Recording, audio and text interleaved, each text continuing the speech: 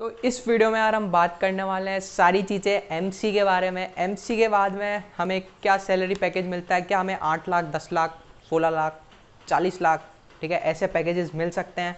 कैसे मिल सकते हैं? एमसी करने का सही तरीका कौन सा है? टॉप कॉलेजेस कौन से हैं? ठीक है, सब मैं इस वीडियो में बताने वाला हूँ। सारी चीज़ें खोल के रखेंगे। सब्जेक्ट्स एलिजिबिलिटी क्राइटेरिया कौन सा एंट्रेंस टेस्ट होता है? सब चीज़ें all about MCA in this video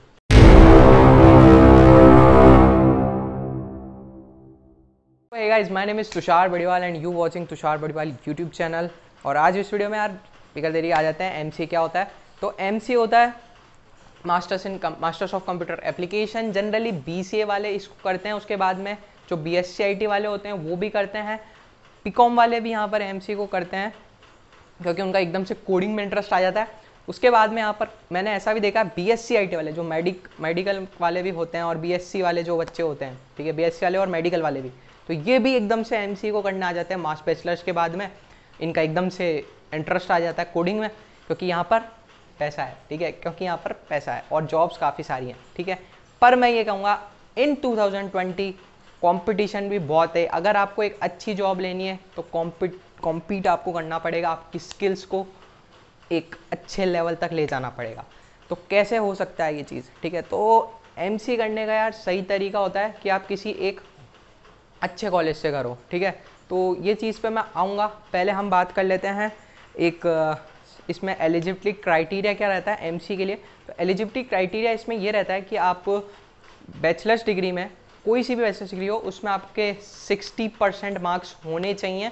और ये मैं बात कर रहा हूँ टॉप एन जैसे जो हमारा एमसी होता है, इसके लिए जो टॉप कॉलेजेस होती हैं, उसमें आती है एक एनआईटी जैसे ट्वेल्थ के बाद जो बच्चे होते हैं, उनको बीटेक करना होता है। तो वो क्या करते हैं? आईआईटी करते हैं, ठीक है? तो वैसे ही जो बैचलर्स हम बीसीए वाले होते हैं, उनके लिए जब हमें कोई अच्छे से हमें मास्टर्स करना है एम तो उसके लिए जो टॉप कॉलेजेस हैं यार, वो है एनआईटी ठीक है? वो है एनआईटी ठीक है? और वहाँ से आप एम करोगे तो वहाँ पर आपको पैकेज अच्छा मिलता है। और एम करने का एक सही तरीका भी वही है, ठीक है?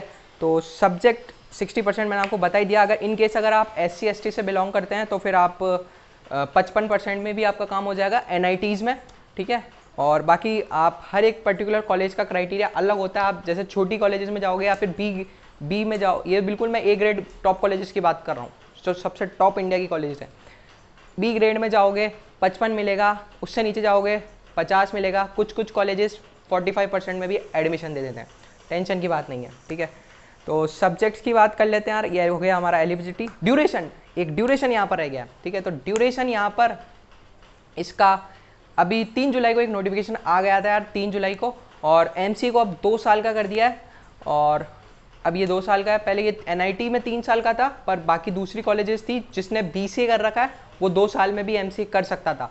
पर अब और बाकी जिसने बी नहीं कर रखा, वो तीन। पर जो NIT थी, वो NIT अलाउ नहीं करती थी। NIT क्या बोलती थी? भले ही आपने बी कर रखा हो, भले ही आपने बी कर रखा हो, पर आपको तीन साल का एम करना पड़ेगा।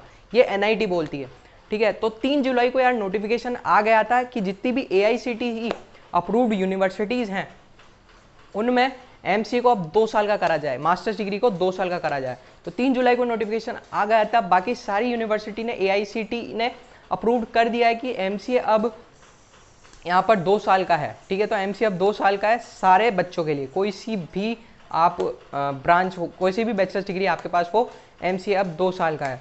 ठीक है, और जो एनआईटी है, ये चीज़ हो तो गई थी यार तीन जुलाई को, पर 25 अगस्त को एनआईटी ने अपनी ऑफिशियल वेबसाइट पे ये डाल दिया कि अभी जो 2020 का बैच है, उसके लिए हम तीन साल का ही एमसीए रखेंगे।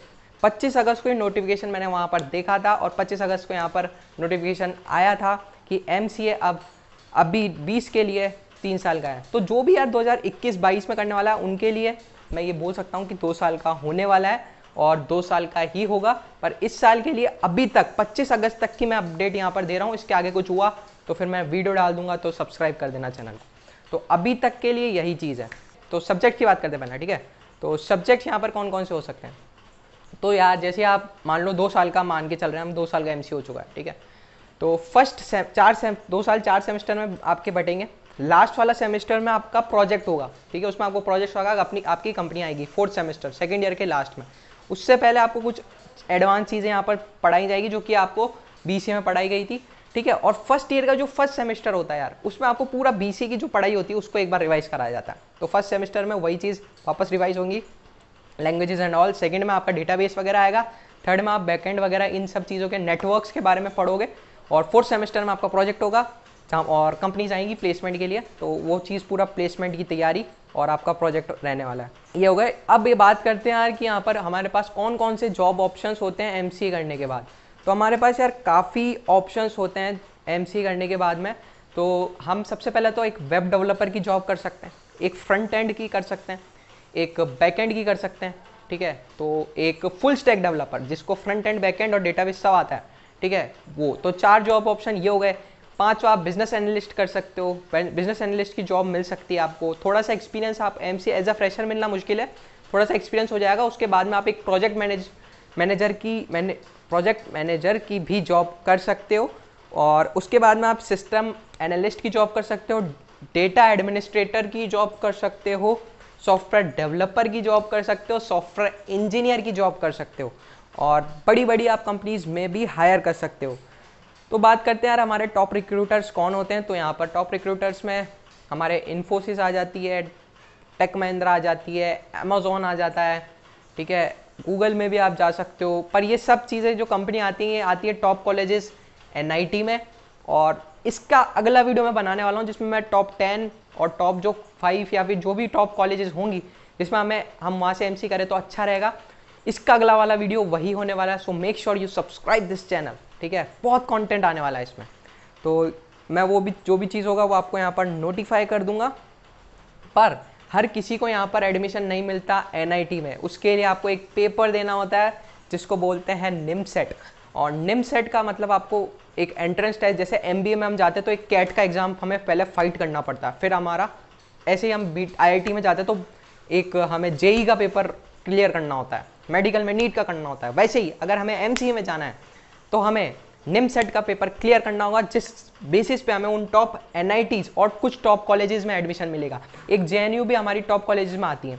ठीक है तो जेएनयू का अलग पेपर होता है। वो निम सेट के बेसिस पे नहीं लेता, वो इनके अलग वीडियो में टॉप कॉलेजेस वाली में डाल दूँगा। पर ये मान लो निमसेट से आपको टॉप कॉलेजेस में एडमिशन मिल जाएगा। जितनी भी एन है, सरकारी है, ठीक है? सरकारी एनआईटी उन सारी कॉलेजेस में आपको निमसेट के थ्रू ही पेपर मिलेगा, ठीक है? और एक निमसेट के ऊपर भी मैं एक प्रॉपर वीडियो बता दूँगा। निमसेट का एग्ज़ाम कैसे देते हैं, ठीक है? क्या कितने बच्चे उस निमसेट में बैठते हैं और कितने बच्चे वहाँ पर सेलेक्ट होते हैं एन में, उसका भी एक अलग वीडियो यहाँ पर हम डाल देंगे। अभी फिर ये वीडियो बड़ा हो जाएगा। अभी मैं इसको एम तक ही रखता हूँ। तो निम सेट के बारे में एक अलग वीडियो, कॉलेज रिव्यूज़ के बारे में एक कॉलेज, टॉप कॉलेजेस के बारे में एक अलग वीडियो आ जाएगा। तो सब्सक्राइब करके रख लेना चैनल। तो अब बात करते हैं हम हमारी सैलरी के बारे में कि अब हमें सैलरी कितनी मिलेगी एमसी करने के बाद में। तो अगर आप टॉप कॉलेजेस से करते हो, जैसे मैंने बताया यहाँ पर एनआईटी से करते हो तो आपका लगभग जो एवरेज पैकेज रहता है वो होता है दस लाख रुपए का, ठीक है? हाईएस्ट पैकेज होता है सत्ताईस लाख तक भी जाता है, ठीक है? पर ये जो सत्ताईस लाख है, ये इन हैंड थोड़ा सा कम मिलता है। तो एक वीडियो में बाद में कभी ये भी बनाऊँगा कि इसकी रियलिटी क्या है सत्ताईस लाख पैकेज की। क्या सत्ताईस लाख लाख को हम बारह से डिवाइड कर दें? ठीक है, सत्ताईस को बारह से करा तो दो ढाई लाख क्या महीने के कमा रहे हैं? ऐसा नहीं होता भाई, ठीक है? इसमें कंपनीज़ के शेयर भी मिलते हैं, वो सब होता है कुछ कुछ कट ऑफ़ रहता है। सब उसके बारे में हम बाद में बात करेंगे। पर हाईएस्ट होता है। पर हाईएस्ट का मतलब क्या है? एक दो बच्चों को मिला ही है ठीक है? हर किसी को नहीं मिला है। और एवरेज पैकेज में भी कैसे निकलता है? एवरेज पैकेज भी निकलता है कि जो टॉप आ गया, जैसे सत्ताईस, जैसे चालीस आया, एक का दस, एक बच्चे को चालीस मिला, एक को दस मिला, एक को बीस मिला, ठीक है? तो लगभग उसका एवरेज निकालता है और फिर वो एक एवरेज पैकेज होता है। तो एवरेज पैकेज किसको मिला नहीं होता? जितना भी एक हाईएस्ट पैकेज होता है वो सबसे बढ़िया अगर आपको जज करना है ना तो वो यार आप देखो मीडियम पैचर मीडियम पैकेज कितना है? मीडियम मीडियम पैकेज कितना है? मीडियम पैकेज क्या होता है कि जो कॉलेज में जितने भी बच्चे हैं, पचास परसेंट से ज़्यादा बच्चों को कितना पैकेज मिला है? ठीक है, वो होता है मीडियन कि क्लास की आधी पूरी आधी क्लास को इतना पैकेज मिला है।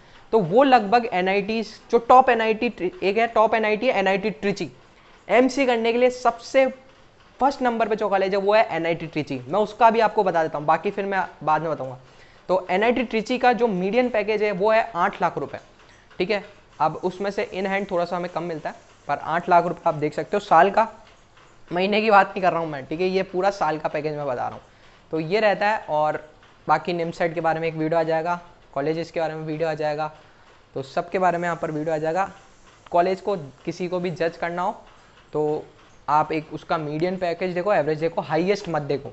मैं बोलूँगा वापस फिर से, और हाईएस्ट मत देखो, क्योंकि हाईएस्ट यार एक दो बच्चे का होता है, ठीक है? इतने सारे बच्चों में से एक एक बच्चे ने निकाल दिया, ठीक है? तो उस उस बेसिस पे हम, क्योंकि इसमें इन कॉलेजेस की फीसें भी तगड़ी होती है, लाखों में इनकी फ़ीस होती है।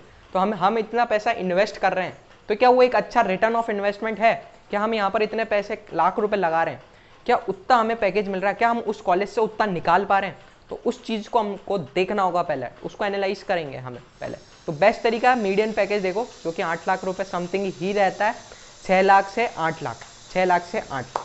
तो यही यहाँ पर एक एम सी ग्रेजुएट ये भी मैं टॉप कॉलेजेस की बात कर रहा हूँ। अगर मैं बात करूँ नॉर्मल कॉलेजेस की, ठीक है? तो वो बी वालों के बराबर रहता है। बीसी वालों की मैंने आपको बताई थी, दस हज़ार से लेके पच्चीस हज़ार इन केस ज़्यादा स्किल्स हैं तो तीस हज़ार एज अ फ्रेशर मैं बात कर रहा हूँ एक्सपीरियंस के साथ ये बढ़ेगा। तो ये बीसी की सैलरी होती है, यही एमसी की होती है, ठीक है? कोई फ़र्क नहीं पड़ता आपके पास एक मास्टर्स डिग्री है डिपेंड क्या करता है आप कौन सी कॉलेज से कर रहे हो, ठीक है? तो एन से कर रहे हो, तब आपको जाकर ये छः सात आठ लाख वाले पैकेज मिलेंगे। नॉर्मल कॉलेज से जो एक बी वाला बंदा पैकेज उठा सकता है पच्चीस हज़ार का महीने का वही एमसी के पास अपॉर्चुनिटी इससे ज़्यादा नहीं होती। ऐसा कुछ नहीं होता कि आप, बस आपने एमसी कर लिया तो आपको पचास हज़ार रुपये पर मंथ मिल गया। छः लाख, आठ लाख का पैकेज मिल गया। नहीं। ये देगी आपको टॉप कंपनीज़ टॉप कंपनीज़ आपको मिलेगी टॉप कॉलेजेस में। ठीक है? तो बाकी और वीडियो आने वाला है। टेंशन मत लो। तो तब तक के लिए चलते हैं। सब्सक्राइब कर देना चैनल को। This is Tushar Badiwal signing off